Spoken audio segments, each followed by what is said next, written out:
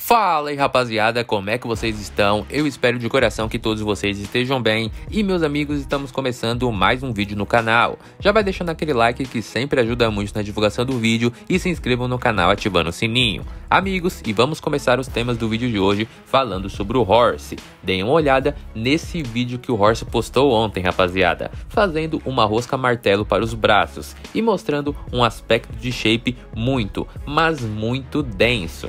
É, meus amigos, esse vídeo do cavalo impressionou demais, passando dos 1.400 comentários em suas redes sociais. E geral do Brasil e até mesmo vários gringos estão impressionados com o tamanho do atleta rumo ao Arnold Classic Ohio. Lembrando que essa é apenas a segunda competição do Horse como atleta profissional. E ver o nível que esse cara já está é surreal. Comentem aí quais são as suas expectativas para o Horse em Ohio e vamos para o próximo tema do vídeo de hoje. Rafael Brandão, devido à sua linha extremamente estética de shape, sempre foi muito comparado com atletas da Class Physique nos últimos anos da sua carreira, onde para algumas pessoas o Brandão teria um físico que seria absurdo na Classic. Porém, o seu sonho sempre foi ser Open, e após esse último off-season, ele colocou um ótimo volume e vai estar na sua maior versão da carreira. Entretanto, em recente conversa na mídia gringa, King Kamari, um ex-atleta, perguntou ao Milo Sarcev, coach do Dauda, se o Brandão deveria ser class physique. Confiram só a resposta bem humorada do Milos sobre este assunto. Say you're helping Ralph, Raphael, okay? Just mm. for, for hypothetically speaking. Okay. We've seen him over and over again. And each time I personally see him, I see someone who looks great in the off season. He's hyped up and he gets on stage and everyone says the same thing. He's not big enough. He needs more size. Every time now we say the same thing. He needs more size. My question to you is this: If you were his coach, would you say to him, if, if, and only if he comes back again at this Arnold Classic, and we say the same thing, he needs more size, would you advise him to pull back on the supplements and drop down and give Classic a chance? Uh, no, no, that's a, that's a that's like you asking a guy to have a penis reduction surgery. you know what I mean? You know, come on, man. Essa resposta do Milos foi incrível, né, rapaziada? E apesar de ele ser coach aí do Dauda e do Horse, né, que são adversários do Brandão em Ohio, o Milos gosta muito do Rafael e sempre diz que ele considera o Brandão um fisiculturista perfeito sem pontos fracos. Recentemente, o Milos conversou com o próprio Rafael Brandão em uma entrevista lá na gringa, e nessa resenha, o Milos disse que o Brandão estará 16 quilos mais leve que o Dauda no palco, e perguntou como o Brandão iria ganhar. E o Brandão disse que estará mais seco que o Dauda, e eles trocaram ali uma resenha sobre a fase atual do Brandão rumo à competição. Confiram só os trechos que foram traduzidos e também comentados pelo nosso colega Miguel Chaim em um vídeo para o seu canal.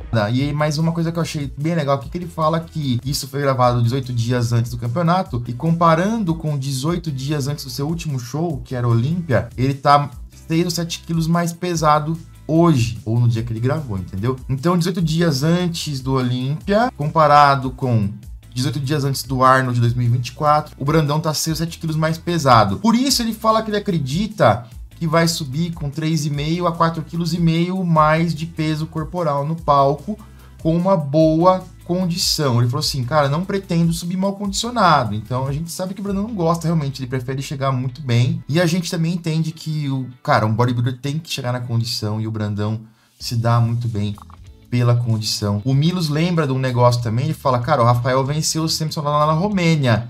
E isso mostra o quão bom o Rafael é. Além disso, Milos fala que o Brandão merecia mais que o décimo lugar no último Olímpia, que ele poderia ter sido nono ou oitavo, fato com o qual eu concordo 100% com o Milos aí. Eles perguntam pro Brandão qual foi o peso dele no Olímpia, e ele fala 114 quilos. E o Dennis James fica impressionado, porque ele fala, cara, agora com 118 então, olha só o que o Dennis James falou. So, but uh, let's say a Rafael at let's say, uh, Rafael, how much did you weigh at the Olympia last time, 22? I think 250, 251. So listen, so a Rafael at 260, I think he's an easy top top six contender at the Olympia. And then, you know, it depends on who's in shape and who's not.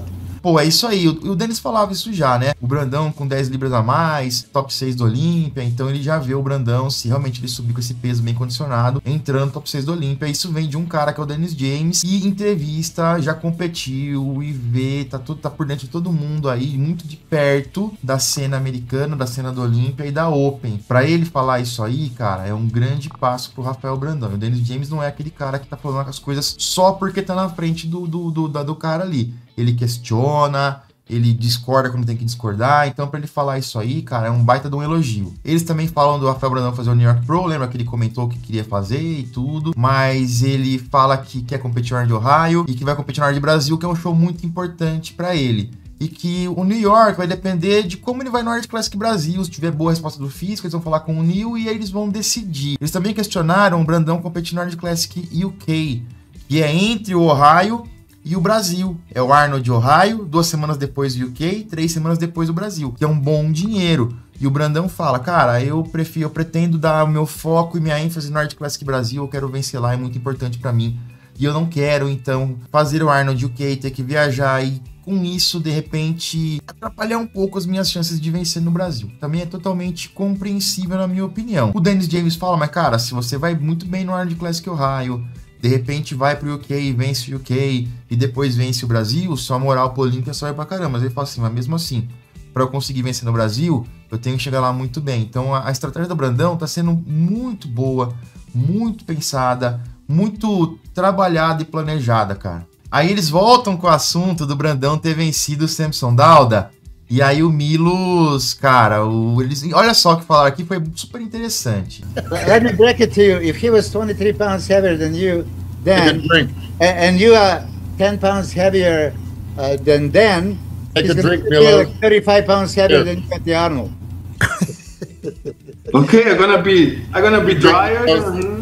Pô, então vocês viram aí, né, cara? O Milos ficou, ah, você ganhou esses 4, 5 quilos, mas o Senso também ganhou. Então agora, meu amigo, se você ganhou do Senso lá tendo 10 quilos a menos, agora serão 16 quilos a menos. E aí eu pergunto para vocês, o Brandão será capaz de vencer o Senson pesando 16 quilos a menos? Na teoria, né? Porque pode ser que o Milos sempre tá falando isso aí não é real. O Brandão falou, eu vou chegar mais seco. E aí, realmente, o Brandão tem uma estética tão boa quanto o do Samson, até um pouco melhor, na minha opinião, mas vai estar tá com um pouco menos de volume e a gente gente sabe que o peso no, Rafael Brandão ele não fica tão menor assim que o Samson, mesmo pesando menos. Resta saber como que vai ficar no palco essa diferença. E claro, dentro desse contexto todo, o condicionamento vai ser uma chave, uma peça muito importante. Quero muita opinião de vocês em relação a isso. O que, vocês acharam? Vocês concordam, discordam?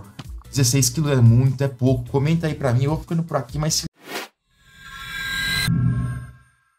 E aí, amigos, quais são suas expectativas para Rafael Brandão contra Dalda neste Arnold Classic Ohio? Inclusive, falando sobre eles, quem nos acompanha lá no Instagram viu que recentemente nós fizemos um post por lá, destacando as últimas atualizações de shape do Samson nas poses de frente, de lado e também de costas. O atual campeão do Arnold Classic Ohio e top 3 do Olímpia está indo faminto para conquistar o segundo título do Arnold. E como vocês podem ver, o shape dele está incrível, mas será que ele pode vencer o Had? Será que ele não vai sofrer contra Brandão ou Horse? Deixem suas opiniões sobre ele nos comentários. Mas é isso aí, rapaziada. Por hoje é só. Esperamos que vocês tenham curtido o vídeo. Já vai deixando aquele like, sempre ajuda muito na divulgação do vídeo. Se inscreva no canal ativando o sininho e comentem aí também as suas críticas, sugestões e, é claro, as suas opiniões sobre o vídeo. Tamo junto, rapaziada, e até o próximo.